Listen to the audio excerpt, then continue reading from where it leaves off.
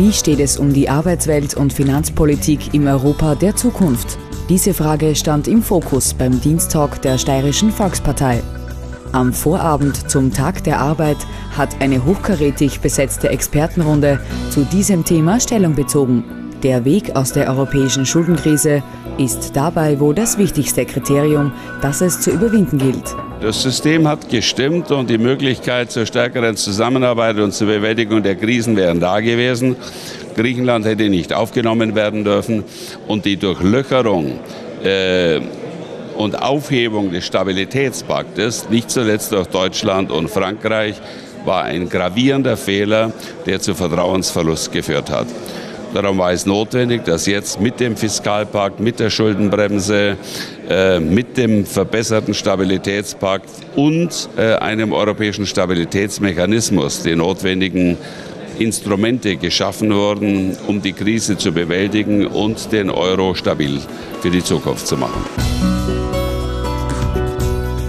Gerade die, die angesprochen wurden, Griechenland, Zypern, auch andere, die im Rampenlicht stehen. Das sind Länder, die jetzt ihre Hausaufgaben machen wollen. Das ist sicher sehr, sehr schwer, weil es ja da sozusagen um die Substanz geht.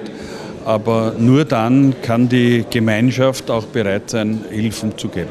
Konsolidierung bedeutet immer an, am Anfang Verlust von Wachstum.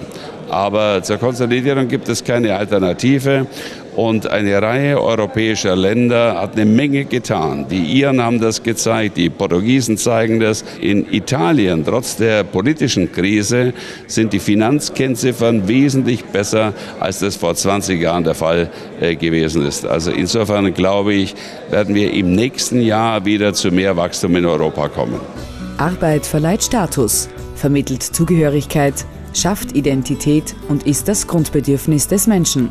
Doch wie sieht die Zukunft aus? Die Regionen äh, stärken die Einheit Europas. Wir sind das Forschungsland Nummer eins in Österreich. Wir sind ein Land der Bildung. Wir sind vorne mit dabei und wir haben den Fuß in der Tür der Zukunft.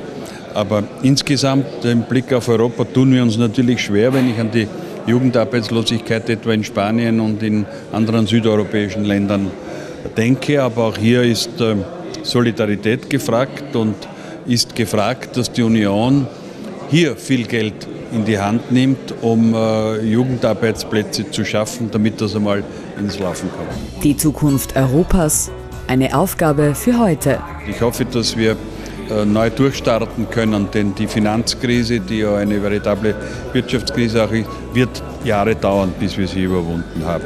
Ein gemeinsames Ziel bedeutet eine gute Wirtschaft, florierende Wirtschaft und viele Arbeitsplätze. Das wollen die Banken, das wollen wir. Beim nächsten Dienstag wartet wieder ein aktuelles Thema mit besonderen Gästen auf Sie.